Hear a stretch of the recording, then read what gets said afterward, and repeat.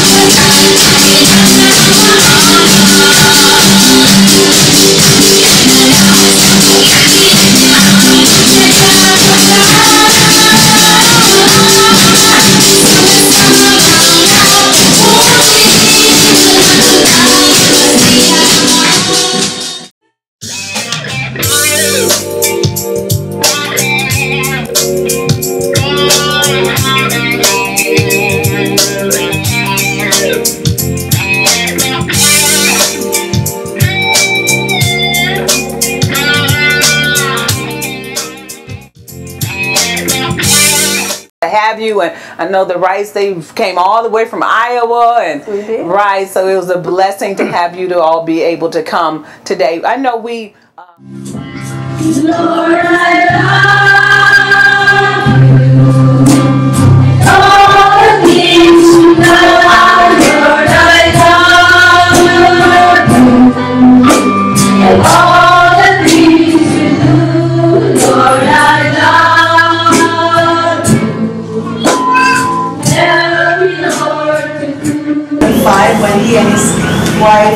Stephanie came to the Philippines and the reason why they came to visit the Philippines is that they met Malcolm in Iowa and they found out through the friend of their daughter that we that PMA is a missionary mission organization that uses airplanes.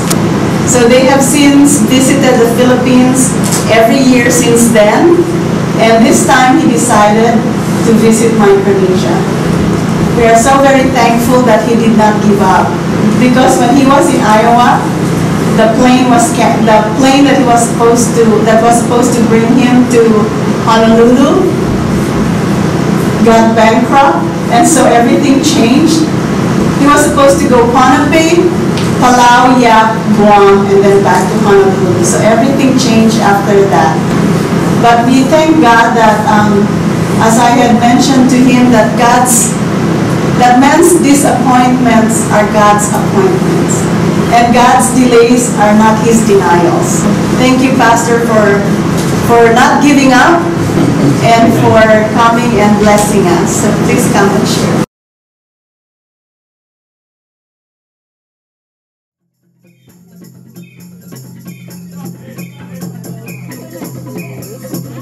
Pastor Charles and Pastor Stephanie Wright. This is Bishop Vincent Matthews from South Africa First Jurisdiction.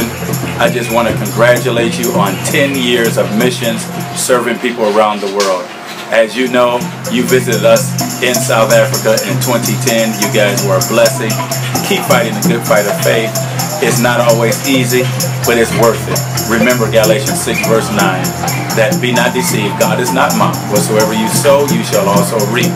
But more so, be not weary in well doing, for in due season you shall reap if you faint not. Keep fighting the good fight. God bless you all. And come back to South Africa.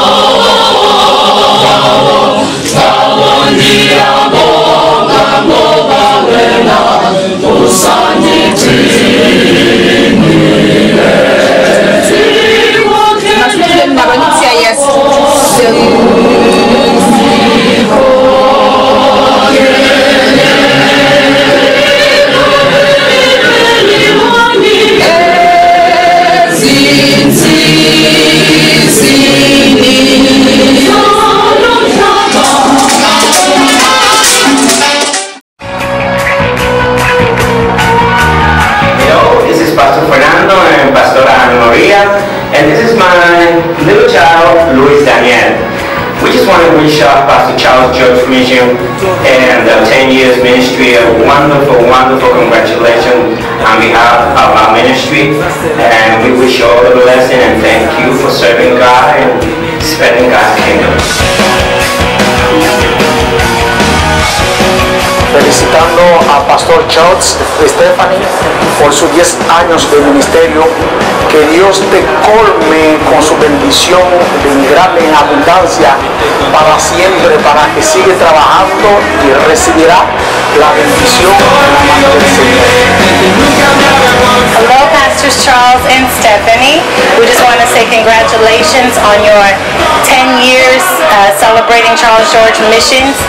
We thank you for what you've done here in the Dominican Republic and what you've done in other nations. You all are a blessing.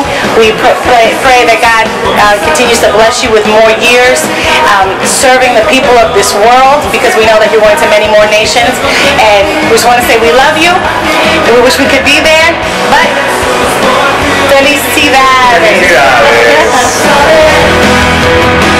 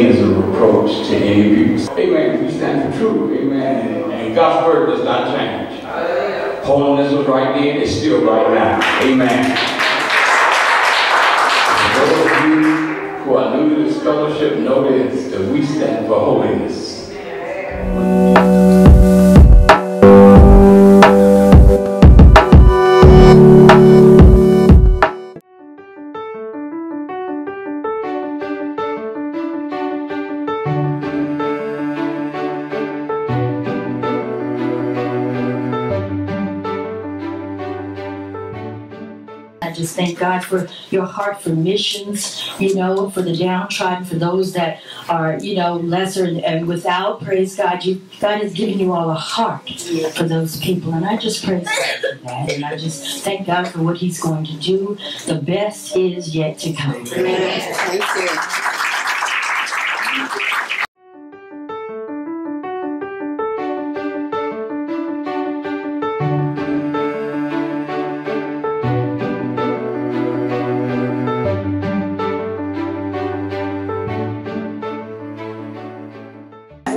Yes, and in Jesus' name, we take authority over the spirit of discouragement.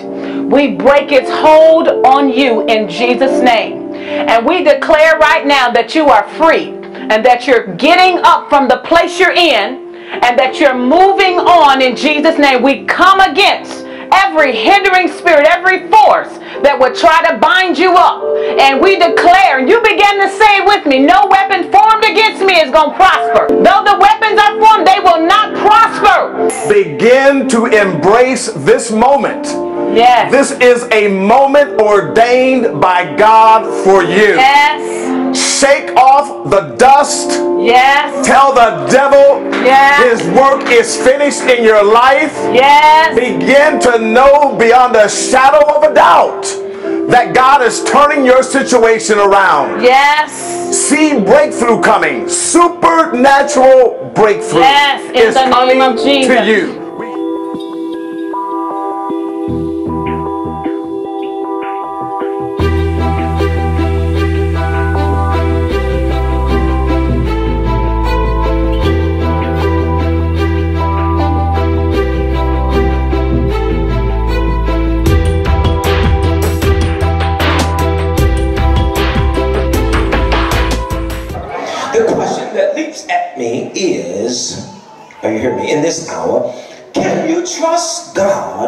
When you can't trace Him? Can you depend on Him even when you cannot detect His presence? The Bible says that the steps of a good man are ordered by the Lord. So God, I trust you. When I can't see my hand before my eyes, I trust you.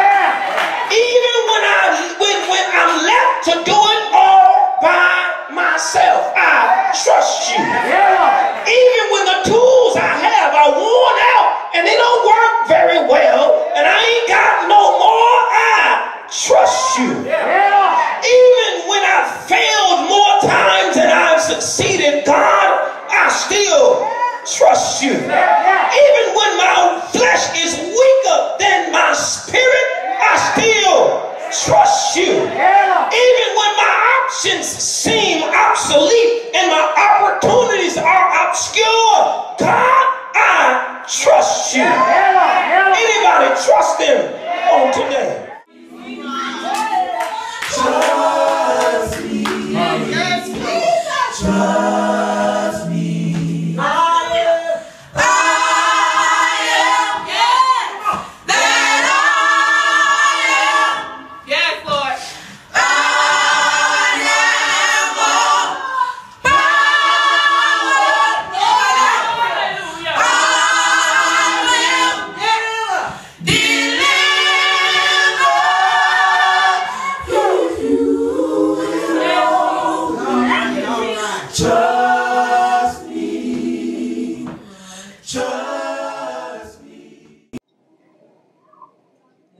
I'm gonna trust him with my husband, my home, my job. I'm gonna trust him.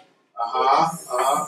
It's nothing I can. I've done all that I can do, And now I'm gonna put my trust in. I'm not just putting my faith in him because my faith now has been converted to trust. Now I'm going to trust him. I'm so committed. I will not throw him away. I will not throw her away. I will not throw it away. I will not throw away the vision God gave me. I will not throw away the new beginnings God gave me. I will not throw away the confidence that He gave me from the beginning. I will let my confidence be turned into trust and stand faithful to the commitment that He has made me a steward over. Your trust in God is like Mount Zion. It stands firm even in the presence of an earthquake. The earth can be removed, but it stands firm. Though the earth be removed, yet I will trust. I will stand firm in my commitment to God. I will put my confidence in Him. I don't care what's going on around me. One could, a thousand could be slain on my right side, ten thousand on my right, but God told me He will not come down me because I put my trust in Him. Amen. It's going to be secure in Him. He will save the unsaved. Yes, yes. He will change the unchangeable. Yeah. Amen. It will stand firm. He's going to stand. But you and I have to stand and be confident.